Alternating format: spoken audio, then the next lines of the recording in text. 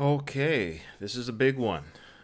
I had to do some research. I try to do some research sometimes, but I've um, just depends. I don't know. Depends what kind of mood I'm in. I don't know. I don't have to research anything. I don't care.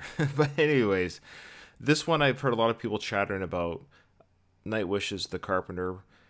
Uh, it's interesting. Anyone listening to this channel that's a Nightwish fanatic, I'm not saying anything that you don't already know, but I'll still express how I feel about what I'm about to watch or listen to. So The Carpenter is the first single. So I didn't know that. I had no idea this was the first single Nightwish ever released. And it's from their first album, of course, called Angels Fall First. So I've never reacted to this song because the majority of the songs of Nightwish that I've reacted to have been pretty much have been live performances. Some have been studio versions of songs that haven't been live.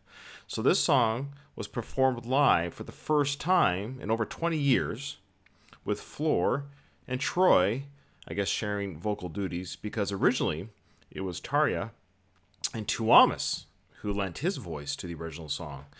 And I don't think I've ever heard Tuomas sing. And I've heard he's probably not the most prolific singer in the world, probably sings better than me. So I haven't heard the original. So this is, I guess, this is a reaction, definitely, to the song itself, you know, as rendered by the present day Nightwish band. Um, I'm sure. Uh, speaking of which, I'm sure I haven't talked about the Tarja debacle in a while. Some of my recent videos of the Buenos Aires concert have, of course, brought out the Tarja uh, fanatics, and that's fine. And I don't know why we keep having this discussion. I guess it's like David Lee Roth and Sammy Hagar. It's the discussion that never ends between the battles of the singers. And poor Anette is in there in the middle, you know, getting pulled between the two of them. Uh, I guess there are those in the net camp who like her as their favorite singer. But all that being said, um, uh, we have to not we, but this is the Nightwish of today. It's it's Floor, and again, uh, I love her, and I and I have no issues with Tarja, and I have no issues a little bit with Anette. Like I don't have any real issues. I don't care. Like I wish them all the best and all the success, and I'm grateful for all they've done. But I I have yet to be disappointed by Floor's performances of the older songs. So, with that being said, here we go. The Carpenter live in Buenos Aires. Where did it go? Boy, I got all these. See, guys, I'm doing all this work for you, and I don't know where I am. So I'll just keep talking. Where'd it go? Where'd it go? Here it is. Okay, here we go. Live. Let's check it out. I hear kids walking around. Okay, let's see if we can get through it. Good evening, beautiful people of the wild, wild south. Troy. Well, it's time. How are you? Are you enjoying our time machine? Yes. Yeah. Well, we're going back a long, long way now. We're going to go back to the uh, late 17th century. This was a big hit in China at the time, and it's a song all about carpentry.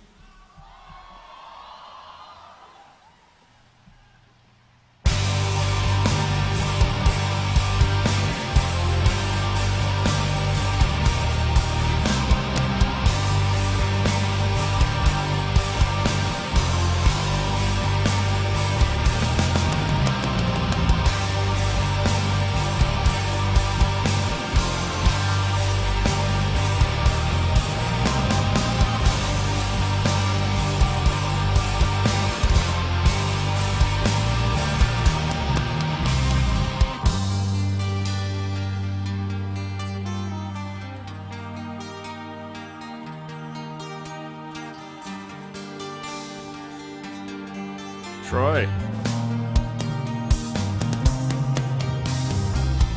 Who are you? Man condemned to shine his salvation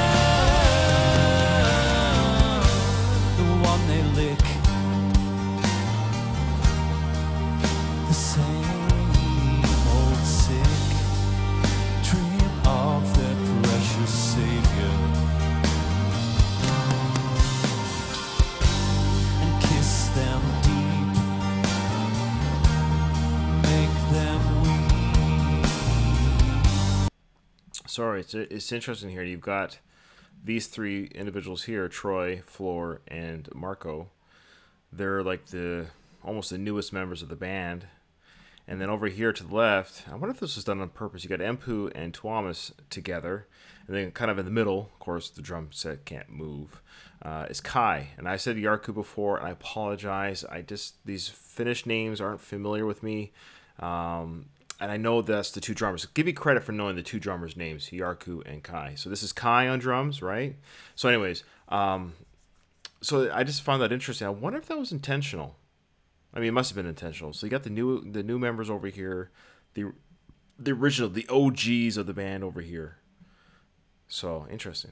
I mean, I love it so far. I mean, I love it. It's and it's interesting because I'm listening to it um, as the first single of Nightwish. So when Nightwish entered the music scene those years ago, this is what they said. Hey, world, this is us. This is what we. This is what we're gonna sound like. So it's an interesting song to, to listen to, to because when a band does that, that's kind of like that's the image that they want to be known for, especially for a debut single. So this is an interesting piece of history.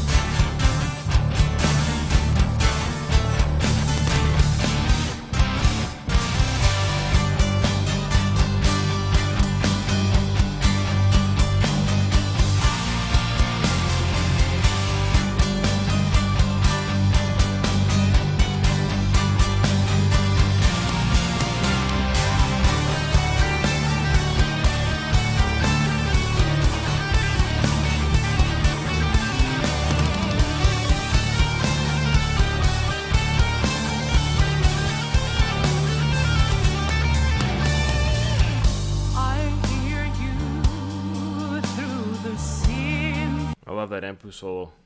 And I know in the early days of Nightwish, apparently the Emppu did more solos and stuff. I wonder why they. Yeah, I mean, I don't know. I'm not a music person. Like I don't know how to write music, but it's interesting that they chose to kind of go away from that a little bit. But that was really cool to hear the acoustic. I don't know. I don't know the name of the guitar that Troy has. I'm sure people in comments will correct me. But that acoustic kind of mandolin guitar in the background, juxtapositioning with the metal guitar riff, it was cool. Yeah. I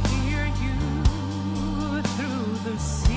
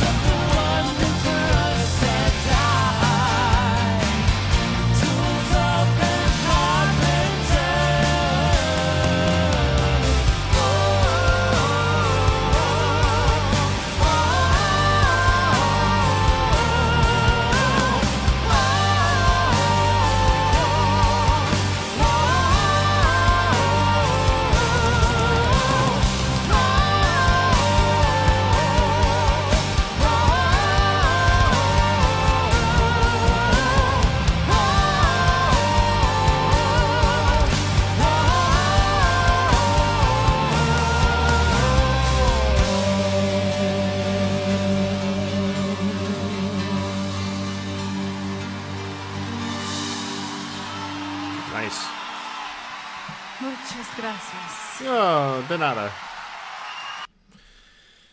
All right. That was awesome. And I love Troy's vocals. They're very soft. He's like the soft Marco. And boy, I mean, what a talent those three are Marco, Floor, and Troy. Like, hey, Thomas, you write all these songs. Full credit to you for writing these songs. But my goodness, these, the band today, eh? Like the talent they bring. And I mean, Troy can play instruments too. So they just add a whole new element to this band. I love the addition of Troy. The Troy Floor combo. Would that be Troy or Floy? Which one do you like better? All right. Um, that was awesome. It was a beautiful song and interesting first single. Very interesting first single. Um, yes, people are going to say, you got to listen to the original. You got to hear Tuama sing. You don't understand Tarja. I got you. I hear you. Message received. Loud and clear.